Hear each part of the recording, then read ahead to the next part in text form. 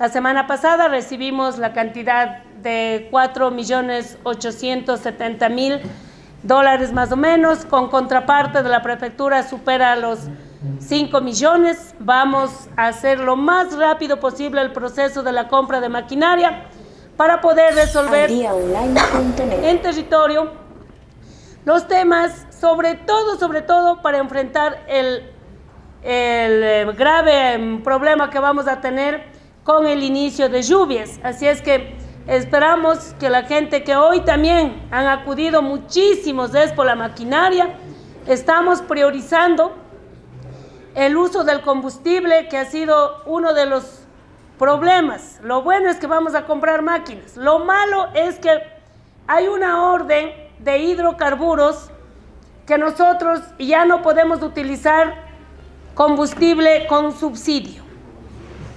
Exhorto a nuestros cuatro legisladores, de hecho en estos días les llegará una solicitud para que aboquen conocimiento de la grave crisis que vamos a tener en los gobiernos seccionales al obligarnos a comprar el combustible sin subsidio. Eso significa que hoy estamos pagando 1.75 y tocaría bajar algunos proyectos de vialidad para comprar combustible, porque tenemos que, comprar el combustible de 4.17 o 4.20, significa tres veces más el valor de lo que estaba cotizado.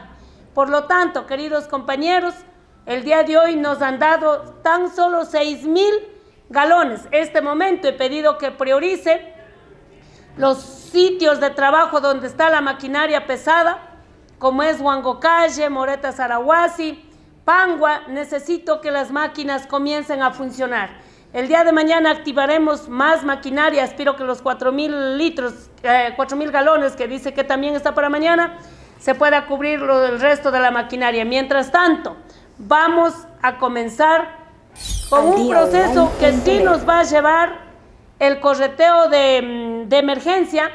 Si desde el 2018 estaban obligados a comprar ese combustible, ya la prefectura debía haber tenido el, em, los tanques de almacenamiento para comprar el combustible industrial necesito primero el presupuesto y segundo, en los tanques de almacenamiento. Eso significa que tengo que tener un propio expendedor de combustible, pero eso no lo vamos a ubicar aquí en la finca vieja que estamos eh, intentando salir. Y el trabajo nuevo lo vamos a tener que hacer en la Victoria.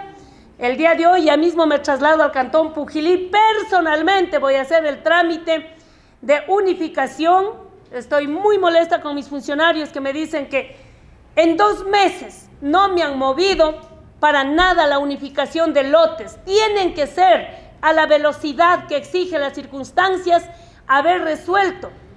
A mí me dijeron que estaba casi listo para construir los andenes en la Victoria, pero resulta que ni siquiera los lotes ha estado unificado. Desde que compraron esos lotes están ahí. Tenemos que hacer la unificación tenemos que hacer un solo cuerpo y comenzamos la construcción. Eso me va a llevar un tiempo para poder pedir a la ARCH, a Petroecuador, que me consideren los, parques de los tanques de almacenamiento para Pujilí. En ese mm, problema me encuentro, pero vamos a solucionar y además aspiramos, aspiramos que todas las juntas parroquiales, este es el momento. Las juntas parroquiales que tienen posibilidad de combustible, he pedido firmar un adendum de cooperación.